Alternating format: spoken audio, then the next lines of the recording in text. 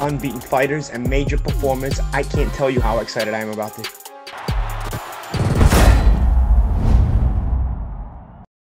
James Helder, IFL TV, MTK Global. With me, I've got former WBO middleweight champion, none other than Liam Smith. How are you, champ? Good, James. Yeah, not too bad, not too bad. We're here today at the, the fights for Amir Khan, Phil Greco. Good undercard, good win for Natasha Jonas as well from your team. Yeah, All good? win. Yeah, good win. First title. onto the next one. Yeah, some, some talent, Natasha Jones, isn't she? Yeah, she's so very talented, obviously.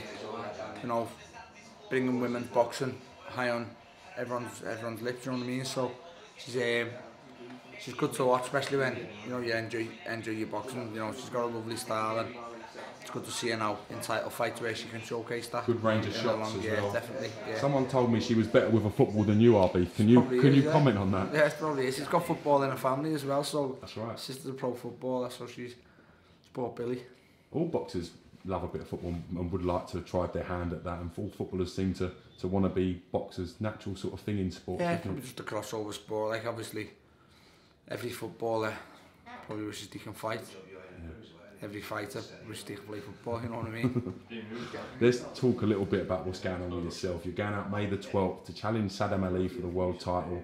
Chance for you to get yourself back into where you believe you should be, top of the world scene. Can you sort of tell me what, what's been going on, where you're at mentally with everything? just um, in training, coming to like the the nitty gritty bit. You know, the the we're just three weeks a day, so we've got a good solid two weeks sparring. I've got some good sparring over, and um, you it's the it's the exciting part now. It's, we're into the the final few weeks. Obviously, after these fights now, you've got Bellew Haye next week, um, and then we'll in two weeks then, you know, to myself. So, you know, that it'll fly round and it's one I can't wait for.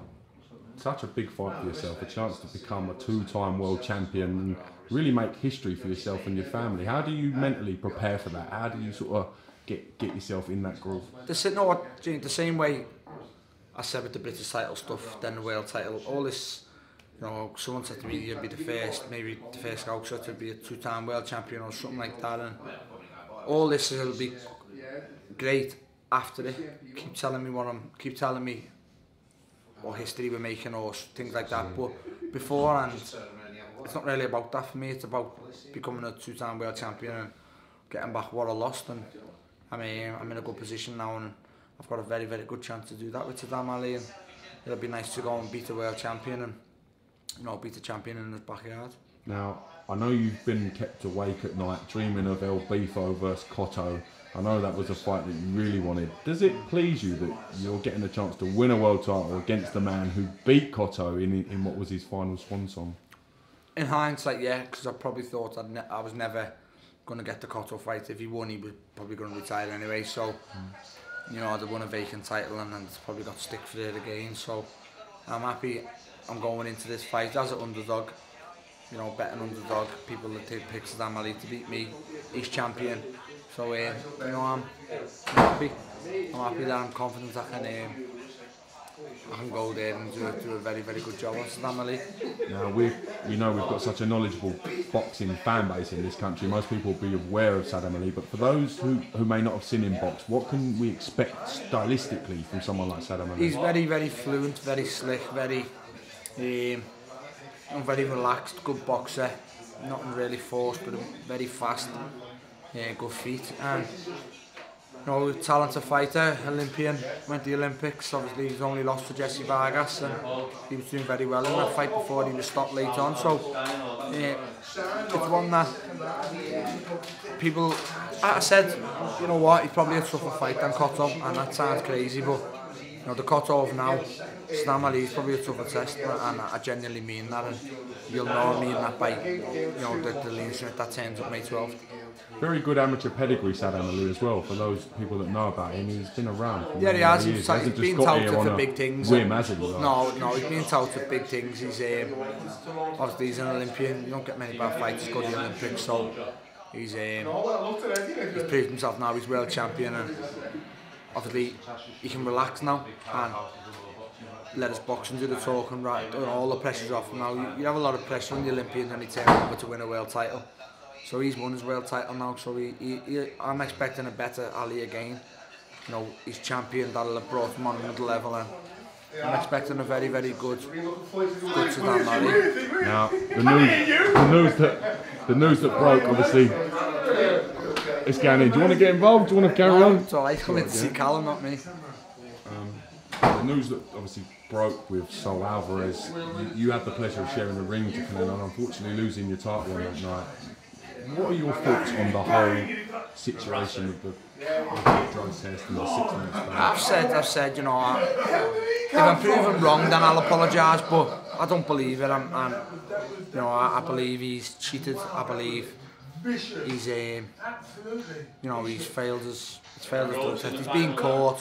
whatever else, yeah, whatever else he's been, he's been done, whether it be he got drug tested in Mexico and he never expected it, I don't know, but whether he whether he takes this stuff and then does something else to mask it and cover it and it hasn't quite worked properly or he's been caught with the last bit in his system, I don't know the full ins and outs, but I don't buy the meat situation. I firmly believe he's cheated to enhance his body, to enhance his chances of beating Golovkin. Something like this tarnish his reputation and Yeah, definitely. your Yeah, opinion? lost all his like, yeah, tarnished all his achievements in my eyes. Um, there'll be a lot of people who will not change their tune on him now. Yeah, a lot of people will be finished with him and finished with him for good. Now, you tweeted out quite tongue in cheek, but I know there'll be a little bit of you that maybe, maybe, maybe not, maybe believes in, in what what you said, in the fact that he could have possibly have been under the influence of that when he boxed you. Yeah, he could have, but you know, like, kind of again, so social media big thing. You take a lot of stick for some things you say, some things you do, but this is a good chat.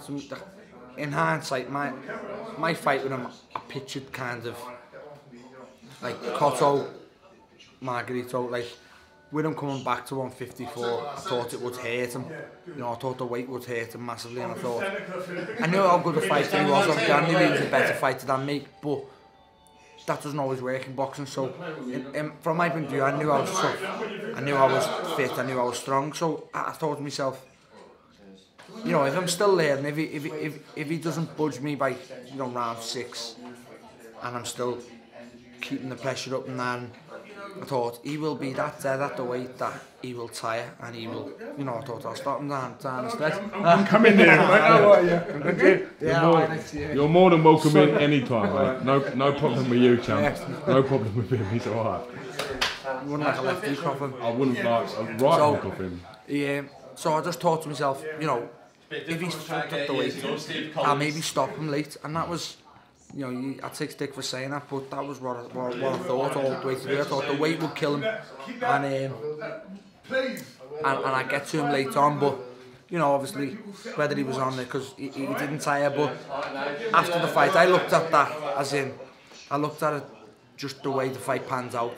The timing of it was perfect for him. You know, after round six, I was um, I was still there and I thought, right, so I stood off my stool and thought, right, he hasn't budged me. And he hadn't hurt me by this point, he genuinely hadn't. And he, I thought, you know, from his point of view, he might have been thinking, right, fuck's sake, I've hit, I've hit him with everything here for six rounds and he's still, he's still here, he's still coming. But then in round seven, he, he, he does get his breakthrough. And right, so then, that's it now. He relaxes, totally relaxes and kind of goes into sparring mode. I know I can hurt him now, whereas I think, fuck's sake, I was already you know, five, six rounds down anyway. Now I'm another two points down. So, it was, um, it was just the moments in fights. I thought, a little bit like the same, I, I, I put it down the same as first Crolla Linares fight. Linares was finding it tough, the, the, the pace, and then wobbled Crolla with the right, and then just totally relaxed. Knew kind of the fight was, he was ahead, and I thought, thought what, what happened with Canelo, but you know, now it's come out he's cheated. Was he cheating then? I watched a very, very good interview with Victor Conte about Shane Mosley. And um, kind of like explaining the, the things of it and stuff like that. And you know, he said the enhancing like the the performance enhancing you get out of it is you recover quicker and all stuff like that and you win the championship rounds and it makes sense man with some people. Wish you the best of luck for May the 12th. I hope you're going to go out there and be victorious. You do know how much boxing is on May the 12th as Yeah, well. I do, yeah. Tell people why they should watch your fight other than some of the other fights that are on that night, mate. Oh, Easy. Easy. that was something that. See, that's why you should watch mine. Lights out. you got it. That's why you should watch mine. No, someone with that comment. Yeah. No, just watch mine. Obviously, be good to see me become two-time world champion in, you know, on foreign soil. Best of luck, then. Thank Thanks, you very much. Nice Enjoy one. Ball TV. Thank you, James. Three rounds, three minutes, three fights. Unbeaten fighters and major performance. I can't tell you how excited I am about this.